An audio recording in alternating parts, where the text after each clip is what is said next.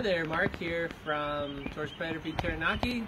I want to talk to you about how do you know if you have possums around your house you don't see them?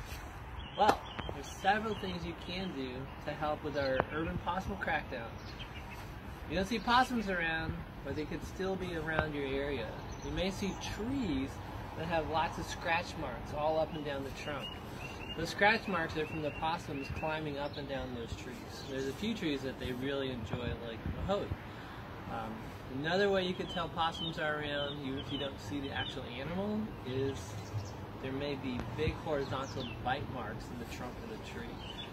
Um, and then another way you could see possums around is one that all animals do, would be the scat.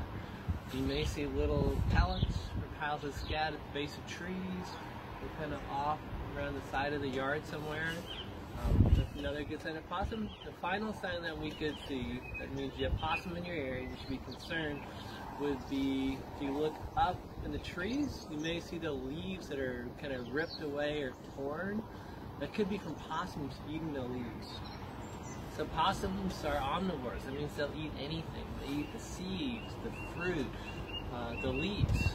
So those are all signs we have possums. You have the scratch marks, you have the bite marks, you have scat, or you have those leaves that are torn. If you see any of these around, get in touch with one of our team, the Towards Predator Free Taranaki, and we'll get out there to investigate. And we have subsidized traps called Trapinators that we can help you get set up and catch those possums. It'll help us in our urban possum crackdown.